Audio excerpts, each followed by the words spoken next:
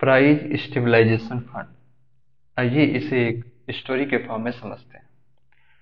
एक बार 2014 से 15 में, सरकार ने price stabilisation fund scheme launch की, ताकि पल्सेस ओनियन और पोटैटो जैसे कमोडिटीज के दामों को स्टेबल रखा जा सके। इस स्कीम का मेन मकसद था कि जब इन चीज़ों के दाम ज़्यादा बढ़ने लगे तो सरकार स्ट्रेटेजिक बफर बनाए और दामों को कंट्रोल में रखे।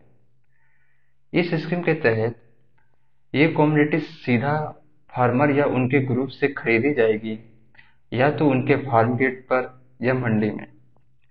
बाद में ये सामान कंज्यूमर को कम दाम पर बेच दिया जाएगा, ताकि लोगों को महँगाई का सामना ना करना पड़े।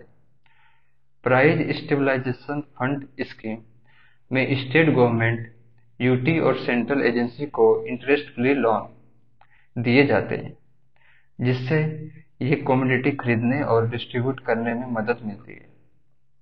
ये scheme department of consumer affair के अंडर आती है, जो ministry of consumer affair food and public distribution का एक हिस्सा है।